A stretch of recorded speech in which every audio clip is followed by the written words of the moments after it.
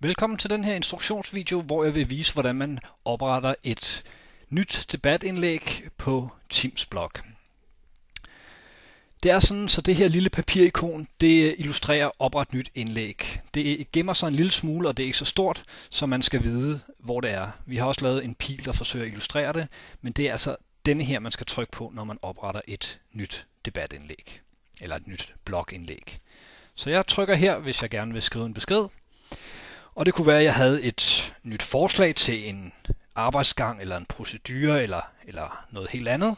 Så jeg skriver nyt forslag. Og så skriver jeg hernede, hej Tim,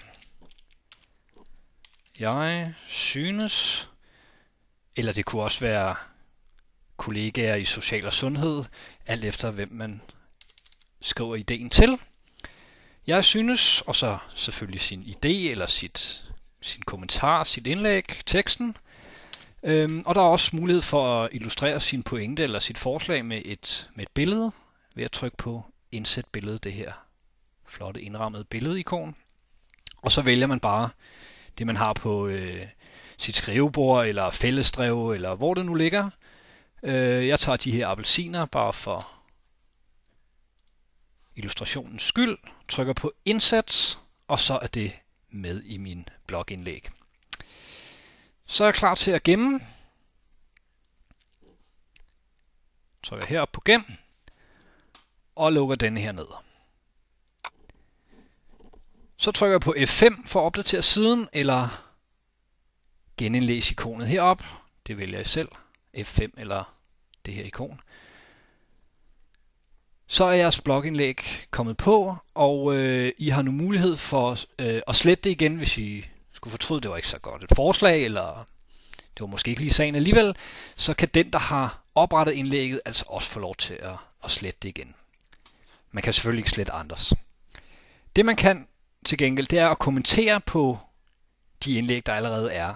Så hvis jeg nu har et forslag eller en videreudvikling til denne her idé, eller bare vil kommentere, at jeg synes, det er en god idé eller en dårlig idé, så kan jeg gøre det ved at trykke opret ny kommentar. Og det foregår lidt på samme måde. Der er lidt mindre valgmuligheder, men så skriver man bare her, super, god idé. Og så kan det være, at man vil skrive lidt mere, men måske vi kunne tilføje et eller andet, hvad man nu har af tanker om det, og tryk på gem kommentar. Så knytter den kommentar sig til det indlæg, og så kan Tim kommentere på jeres indlæg, jeres kollegaer kan kommentere på det, og I kan selv gå ind og svare på de kommentarer, der øh, kommer, så I får en debat kørende. Øh, men altså, det her ikon for at oprette nyt indlæg, og hernede for at svare på et indlæg, der allerede er i gang. Rigtig god fornøjelse med det. Jeg håber, I bliver glade for bloggen.